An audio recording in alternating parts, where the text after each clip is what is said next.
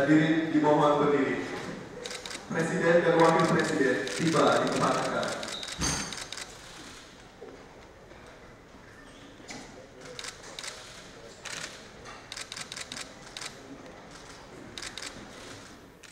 Eh, sekali lagi kita akan membahas mengenai ketersediaan gas untuk industri, terutama yang berkaitan dengan harga. Saya sudah beberapa kali kita eh, berbicara mengenai ini, tetapi sampai detik ini kita belum bisa menyelesaikan mengenai harga gas kita yang mahal dan perlu saya sampaikan gas bukan semata-mata sebagai komoditas, tapi juga modal pembangunan yang akan memperkuat industri nasional kita. Ada enam sektor industri yang menggunakan 80 persen volume gas Indonesia, baik itu pembangkit listrik, industri kimia, industri makanan, industri keramik, industri baja, industri pupuk, industri gelas.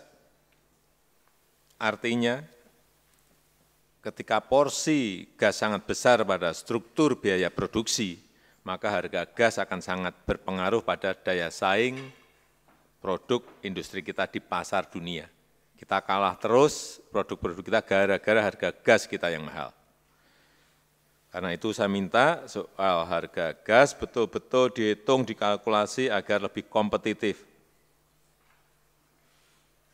Coba dilihat betul penyebab tingginya harga gas. Mulai dari harga di hulu, di tingkat lapangan gas, di tengah terkait dengan biaya penyaluran gas, biaya transmisi gas, di tengah infrastruktur yang belum terintegrasi dan sampai di hilir di tingkat distributor Saya juga minta laporan mengenai pelaksanaan Perpres nomor 40 2016 tentang penetapan harga gas bumi. Apakah ada kendala-kendala di lapangan, terutama di tujuh bidang industri yang telah ditetapkan sebagai pengguna penurunan harga gas yang kita inginkan.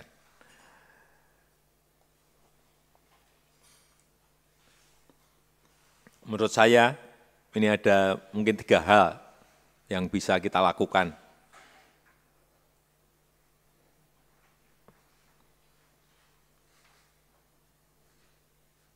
Saya melihat yang pertama ada jatah pemerintah 2,2 US dollar per MMBTU. Kalau jatah pemerintah ini dikurangi atau bahkan dihilangkan, ini bisa lebih murah. Ini satu. Tapi nanti tanya ke Menteri Keuangan juga. Yang kedua, DMO diberlakukan sehingga bisa diberikan kepada industri.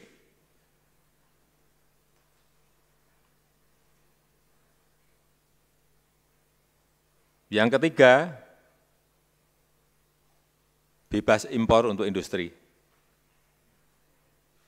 Nah, ini sudah sejak 2016 nggak beres-beres.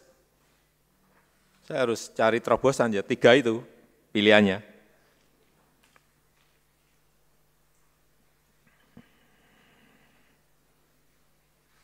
Kalau tidak segera diputuskan ya akan gini terus.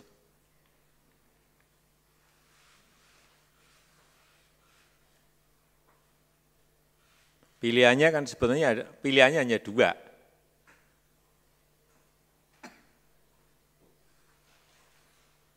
Melindungi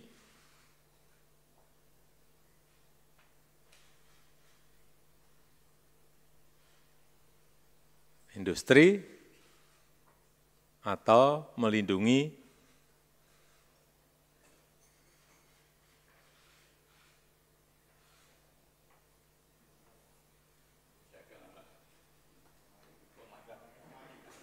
pemain gas itu aja udah.